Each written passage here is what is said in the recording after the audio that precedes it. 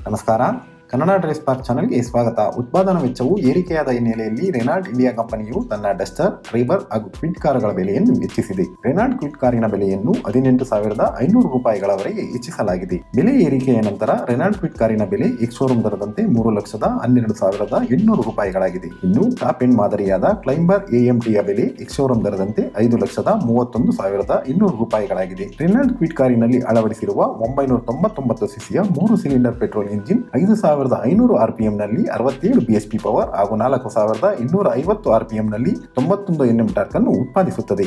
Renault Triber ಕಾರಿನ ಬೆಲೆಯನ್ನು ಹದಿನಾರು ಸಾವಿರ ರೂಪಾಯಿಗಳವರೆಗೆ ಹೆಚ್ಚಿಸಲಾಗಿದೆ. ಬೆಲೆ ಏರಿಕೆಯ ನಂತರ ಟ್ರೈಬರ್ ಕಾರಿನ ಬೆಲೆ ಎಕ್ಸ್ ಶೋರೂಮ್ ದರದಂತೆ ಐದು ಲಕ್ಷದ ಇಪ್ಪತ್ತು ಸಾವಿರ ರೂಪಾಯಿಗಳಾದರೆ ಆರ್ ಎಕ್ಸ್ ಝೆಡ್ ಎಎಂಟಿ ಮಾದರಿಯ ಬೆಲೆ ಏಳು ಲಕ್ಷದ ಐವತ್ತು ಸಾವಿರ ರೂಪಾಯಿಗಳಾಗಿದೆ. ಟ್ರೈಬರ್ ಕಾರಿನಲ್ಲಿ ಅಳವಡಿಸಿರುವ ಒಂದು ಲೀಟರಿನ ಮೂರು ಸಿಲಿಂಡರ್ ಪೆಟ್ರೋಲ್ ಇಂಜಿನ್ ಎಪ್ಪತ್ತು ಬಿಎಸ್ಪಿ ಪವರ್ ಹಾಗೂ ತೊಂಬತ್ತಾರು ಎನ್ಎಂ ಟಾರ್ಕ್ ಅನ್ನು ಉತ್ಪಾದಿಸುತ್ತದೆ. ಈ ಇಂಜಿನ್ ನೊಂದಿಗೆ ಐದು ಸ್ಪೀಡಿನ ಮ್ಯಾನ್ಯುಯಲ್ ಅಥವಾ ಐದು ಸ್ಪೀಡಿನ ಎಎಂಟಿ ಗೇರ್ ಬಾಕ್ಸ್ ಅನ್ನು ಜೋಡಿಸಲಾಗುತ್ತದೆ.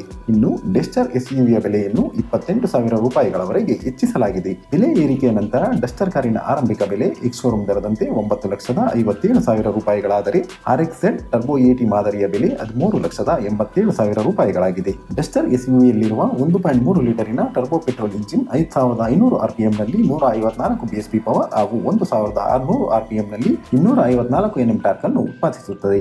ಈ ಇಂಜಿನ್ ಕಂಪನಿಯ ಇತ್ತೀಚಿನ ಟೆಕ್ನಾಲಜಿಗಳಾದ ಗ್ಯಾಸೋಲಿನ್ ಡೈರೆಕ್ಟ್ ಇಂಜಿನ್ ಹಾಗೂ ಡ್ಯೂಯಲ್ ವೇರಿಯೇಬಲ್ ವಾಲ್ ಟೈಮಿಂಗ್ಗಳನ್ನು ಹೊಂದಿದೆ. ಈ ಟೆಕ್ನಾಲಜಿಗಳು ಹೆಚ್ಚು ಪರ್ಫಾರ್ಮೆನ್ಸ್ ಅನ್ನು ನೀಡುವುದರ ಜೊತೆಗೆ ಕಡಿಮೆ ಮಾಲಿನ್ಯವನ್ನು ಉಂಟು ಮಾಡುತ್ತವೆ ಆಟೋಮೊಬೈಲ್ಗೆ ಸಂಬಂಧಿಸಿದ ಮತ್ತಷ್ಟು ಸುದ್ದಿಗಳಿಗಾಗಿ ಕನ್ನಡ ಡ್ರೈಸ್ ಪಾರ್ಕ್ ಚಾನಲ್ ಅನ್ನು ಲೈಕ್ ಮಾಡಿ, ಶೇರ್ ಮಾಡಿ, ಸಬ್ಸ್ಕ್ರೈಬ್ ಮಾಡಿ.